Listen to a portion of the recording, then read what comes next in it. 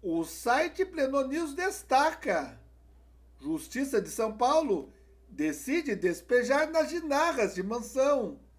Lembra daquele dia do show de comédia? Aquele fatídico 7 de setembro que Bolsonaro recuou?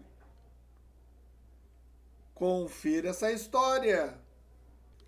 A Justiça de São Paulo determinou que o empresário libanês Najinarras desocupe a mansão onde vive há 39 anos, em Jardins, bairro nobre de São Paulo.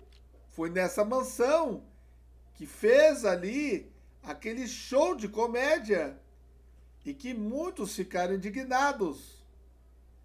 Estava ali o Temer dando risada.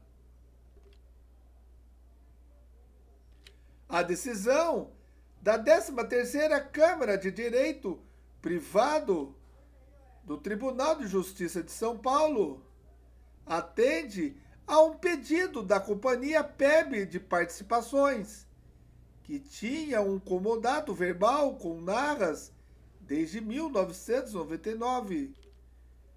A empresa desistiu do acordo após reiterados descumprimentos das obrigações de preservação e manutenção do imóvel por parte do investidor. José Diogo Bastos Neto, advogado de Narras, pretende recorrer e afirmou que essa briga vai seguir.